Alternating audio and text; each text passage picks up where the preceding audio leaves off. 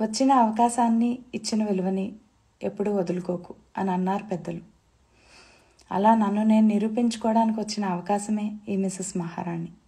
ఇందులో నన్ను నేను నిరూపించుకోవడమే కాకుండా నాలో ఉండే హెల్తీ కాంపిటేటర్ని నేను కనుగొన్నాను. పోటీలో ప్రతి రౌండ్లో గెలవాలనే కోరికతో పాటు పది మందిని మెప్పించాలి పది మందిని అలరించాలి అని నా కృషి పట్టుదలని మొత్తం పెట్టి చేశాను. Success is not that which comes through magic. Success is that which comes through determination hard work and sweat. As it happen to me here ఒక ఈవెంట్ సక్సెస్ అవ్వడానికి కావాల్సిన three important factors communication well organising skills and transparency ఈ మూడింటిని కళ్ళకు కట్టినట్టు చూపించారు తామ organisers. Virtual event ఏంటి? ఎలా ఉంటుంది అని అనుకున్నా. పర్ఫెక్ట్ ప్లానింగ్తో చేసి పర్ఫెక్ట్ ప్లానింగ్కి గోల్స్ సెట్ చేసి చూపించారు ఈ event organisers. Hats off you.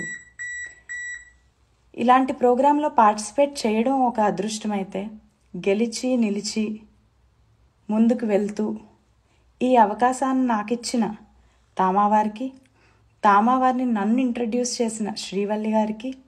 నాలో నేను నమ్మకం పోయి కూర్చున్నప్పుడు ఈ అవకాశాన్ని నా ముందు తీసుకొని వచ్చిన సునీత గారికి ఈ అవకాశాన్ని వినియోగం చేసుకో అని నన్ను ప్రోత్సహించిన నా కుటుంబానికి నా వెనకుండి పది మందిని ఇన్స్పైర్ చెయ్యు.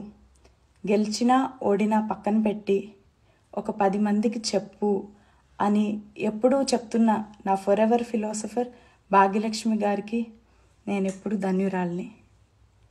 చివరిగా జీవితం చిన్నదో పెద్దదో గమ్యం దగ్గరో దూరమో సాగే ఈ నిరంతర ప్రయాణంలో చివరికి మిగిలేది గుప్పెడు జ్ఞాపకాలు పిడికెడు అనుభూతులు.